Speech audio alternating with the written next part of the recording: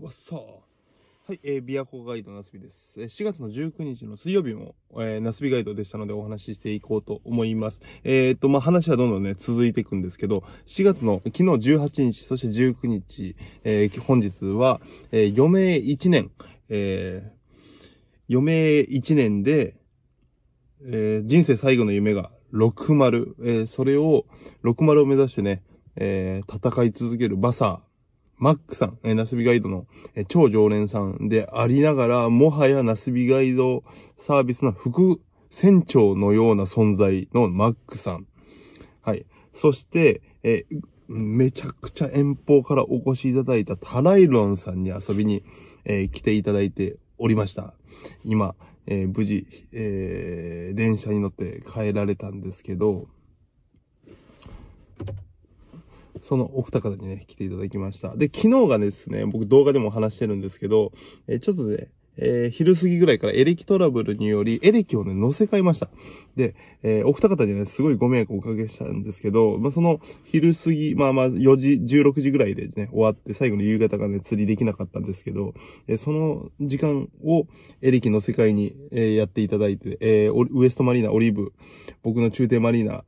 えースタッフ、えー R さんと T ボーさんにね、やっていただいて、で、エリキがね、乗せ替えたんですよね。で、乗せ替えた初日でした、本日は。で、エリキもね、すこぶる好調で、今日は一日快適に釣りができて、えー本当にね、マリーナスタッフの整備士さん、そして、えーマックさんとタライノンさんには本当に感謝しております。ありがとうございます。時間をくださって。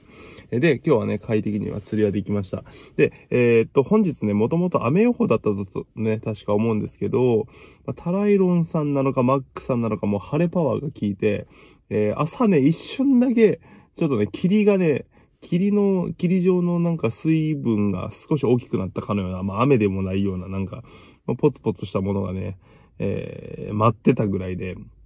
それ以外はまあ晴れたり曇ったり、まあ晴れたり、まあまあ雨は降らなくて、すごいね、風も弱くて、釣りはしやすい、えー一日でした。で、えー結果的に今日は、えーっと、えー一日シャローやって、やりましたね。えーまあ、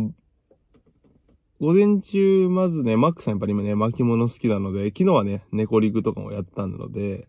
えー8分の3オンス、シャローに入って8分の3オンスのスイムジグを巻きました。巻き巻き巻き巻きして、そこをずっとゴツゴツゴツゴツ当てながら、結構ね、距離感出しながら、まあ、沖の方までしっかりとハードボトムのところを巻き切ったんですけど、えー、まあ結構ね、要所要所をね、巻いたんですけど、全然当たらなくて、てか、もしかしてと思って、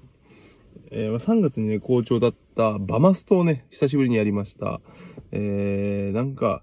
あの、かい、スポーニング終わって回復してるバス食わないかなと思って。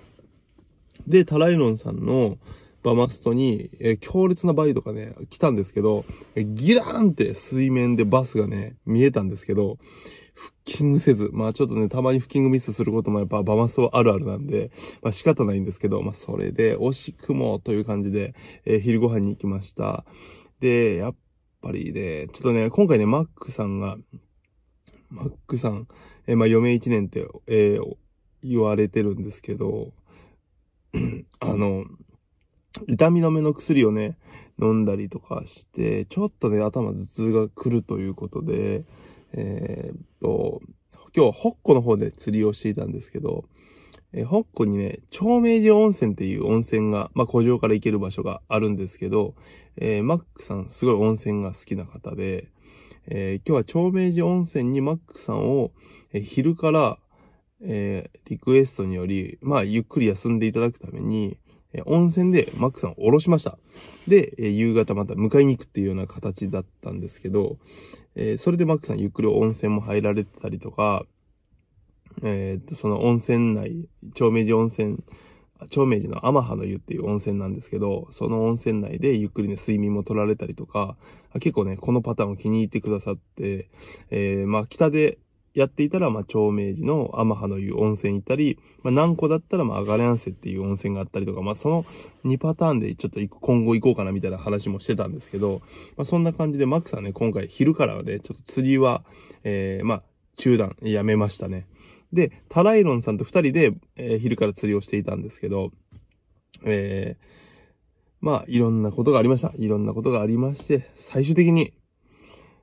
タライロンさん、めちゃくちゃ遠方から来ていただきました。そして、ナスビガイド。昨日はね、僕のトラブルもあり、ちょっと早く上がったりとかして、結局釣れず。で、二日目、昼から、ヘビダン。ビアコ初バス釣っていただきました。おめでとうございます。タライロンさん。おめでとうございます。釣っていただきました。めちゃめちゃ嬉しかった。もうネットに入れた瞬間に僕ら二人、もう、えー、桜木花道とルカは楓ちゃうかぐらいのハイタッチしましたね。で、ほんと釣れてよかったです。で、今、こうしてね、えー、陸上にいるわけなんですけど、えー、マックスさん、タライロンさん、本日、昨日も含め2日間、ありがとうございました。ちなみになんですけど、えー、タライロンさん、また次回もよろしくお願いします。えー、ちなみにマックさんは、あさってもね、来てくださるんで、えー、あさってもね、えー、またマックさんと一緒に来てくださる、えー、60パートナーの方がね、結構ね、遠方から来られるんですけど、えー、またね、しっかりね、バスって行きたいと思います。明日はね、少しちょっとまた補助に出る予定なんですけど、まあどうなるかわかんないです。多分補助出ますね。またちょっと、琵琶湖の状況をちょっとアップしていこうかなと思います。とりあえず、えー、マックさん、タライロンさん、えー、2日間ありがとうございました。まあ、そんな感じの4月の18日、そして4月本日の19日のお話でした。皆さん、最後まで聞いていただきありがとうございました。